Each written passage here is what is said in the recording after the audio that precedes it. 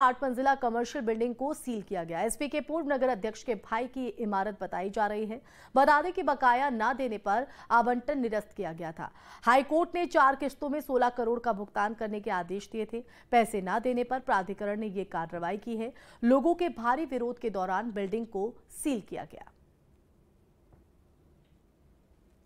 नोएडा प्राधिकरण ने समाजवादी पार्टी के नेता के भाई की एक बिल्डिंग को सील कर दिया है। ये बिल्डिंग सेक्टर 18 में कॉमर्शियल बिल्डिंग है। मैं तस्वीर आपको दिखाऊँ तो इस बिल्डिंग की तस्वीर आप देखिए। यहाँ पर नोएडा प्राधिकरण के अधिकारियों द्वारा कार्रवाई की गई है। प्राधिकरण का दावा है कि इस बिल्डिंग पर तकरीबन सोलह करोड़ रुपये का बकाया है और बकाया वसूली के लिए कई बार नोटिस दिए गए, लेकिन नोटिस दिए जाने के बाद भी वो पैसा जमा नहीं किया गया। पूरा मामला बिल्डिंग मालिक द्वारा हाईकोर्ट में ले जाया गया और हाईकोर्ट ने ये आदेश दिए दिए कि चार किस्तों में 16 करोड़ रुपया 2024 मई तक जमा करना था।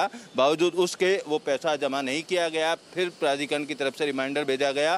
चार किस्तों में जो पैसा दिया जाना था, वो पैसा ना दिए जाने के चलते इस बिल्डिंग को सील कर दिया है। इस बिल्डिंग के आठ फ्लोर हैं। तमाम फ्लोर पर इसी तरीके से जो सील है, वो लगा दी गई है। इस पर किराए पर उठाई गई थी। तमाम जो नामी कंपनियाँ हैं, उनको हर एक फ्लोर यहाँ पर किराए पर दिया गया था और किराए की वसूली की जा रही थी। प्राधिकरण का इस तरीके का भी दावा है और बावजूद उसके जो बकाया है, बकाया नहीं दिया गया है। हालाँकि बिल्डिंग मालिकों की अगर बात की जाए तो उनकी तरफ़ से अपने अलग दावे पेश किए जा रहे हैं। फ़िलहाल इस पूरे मामले को लेकर प्राधिकरण की इस कार्रवाई को एक बड़ी कार्रवाई के तौर पर देखा जा रहा है। एक तरफ़ जहाँ बिल्डरों की तमाम जो अनसोल्ड प्रॉपर्टी है, उसको जब्त करने का काम किया जा रहा है। वहीं अब तमाम बकायेदार जो कॉमर्शियल बिल्डिंग हैं, उन बकायेदारों के खिलाफ भी प्रभावी कार्रवाई देखने को मिल रही है।